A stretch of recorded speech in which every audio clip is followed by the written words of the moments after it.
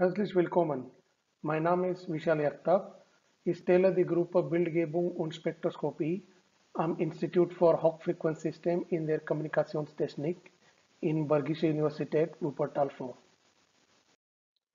Der Frequenzbereich Terahertz liegt zwischen äh, uh, 300 GHz und 3 Terahertz auf dem elektromagnetischen Spektrum, genau zwischen Elektronik und Photonik. In diesen Bereichen gibt es Bildgebungssysteme nach dem Stand der Technik. Auf der Elektronikseite äh, des Elektronikspektrums kann man zum Beispiel HF-Bildgebung durch die Wand äh, hindurch äh, durchführen. Allerdings ist die Auflösung schlecht, aufgrund der großen Wellenlänge mehr als 1 mm. Auf der anderen Seite haben wir alle schon Röntgenbilder gesehen besonders im medizinischen Bereich, wo man durch einen menschlichen Körper hindurchsehen kann oder bei der Sicherheitskontrolle, wo man durch ein Gepäckstück hindurchsehen kann. Die Röntgenstrahlen sind jedoch sehr energiereich und bei längerer Exposition gefährlich für das menschliche Gewebe. Ähnlich wie bei Röntgenstrahlen zeigen die Elektrika auch im Terratsbereich Durchsichtigkeit und Metalle reflektieren. Außerdem sind Terrorstrahlen nicht ionisierend und für die Bildgebung also völlig ungefährlich. Wie hier zu sehen ist, können wir verbogebene Objekte bei Terahertz deutlich gesehen werden, mit einer besseren Auflösung, so gut wie ein menschliches Auge auflösen kann. Hier ist eine Demonstration der Terratsbildgebung, die an einem Kinderüberraschungsei durchgeführt wurde. Mit äh, der Terratstrahlung können wir die vorgegebene Objekt im Inneren des Eis klar identifizieren.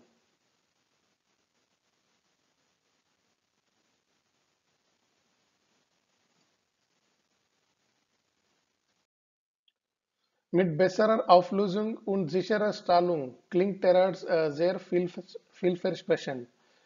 Allerdings äh, gibt es einige grundsätzliche äh, Grenzen. Erstens ist äh, Terrats in der Atmosphäre äh, stark absorbierend und die traditionellen Terratsysteme sind äh, sperrig und kostspielig und einige erfordern äh, kryogene Temperaturen, um zu funktionieren. Was brauchen wir, um diese Einschränkungen zu überwinden?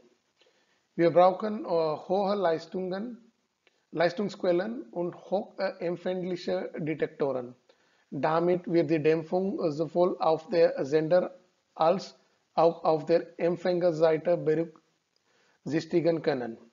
Wichtig ist auch, dass die Bildgebungssysteme bei Raumtemperatur laufen und leicht tragbar und erschwinglich sein müssen damit Terrats im täglichen Leben eingesetzt werden kann. Können wir die großen Integrationsfähigkeiten von hochleistungsfähigen äh, integrierten Siliziumschaltungen nutzen, um ein äh, solches Terrats-Bildgebungssystem zu entwickeln.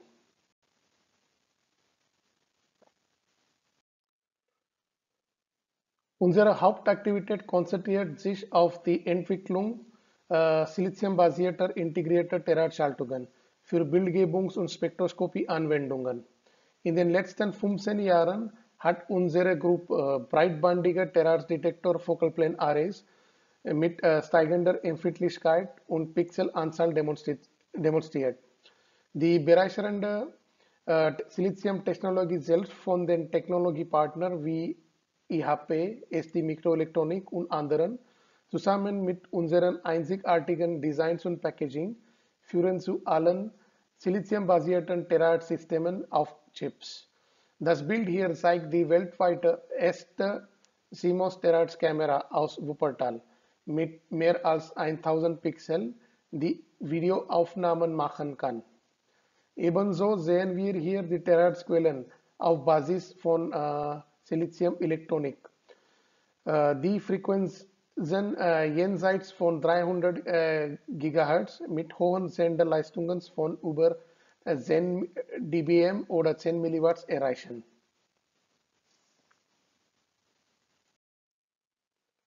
Zu unseren aktuellen Forschungshighlights gehört die Entwicklung intelligenter MIMO-Architekturen für die Integration von Single-Chip-Quellen- und Detektor-Arrays zu einem Super-Array.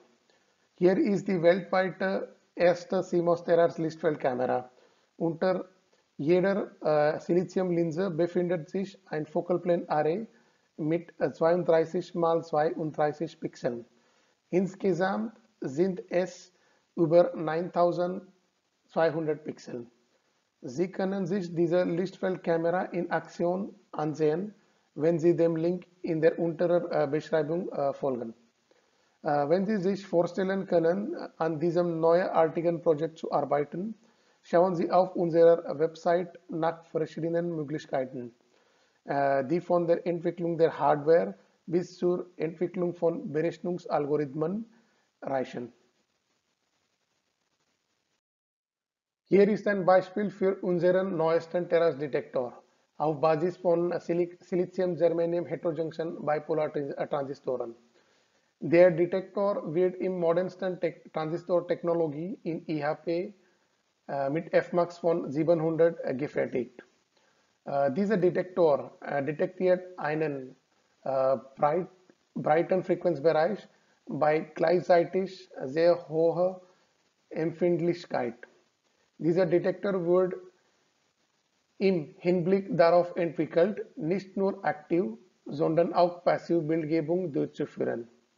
Zusätzlich enthält diese einzelne Pixel, wie hier zu sehen, zwei gleichzeitig laufende Detektoren in orthogonalen Polarisationen. Diese Eigenschaft äh, kann für die Polarimetrie zusammen mit der breitbandigen äh, Durchsichtbildgebung ausgenutzt werden. Es gibt viele Karrieremöglichkeiten für angehende Ingenieurinnen und Ingenieure. Unsere neuartigen Schaltungen realisieren wir mit den modernsten Transistortechnologien von Infineon, IHP, ST Microelectronics und Global Foundries.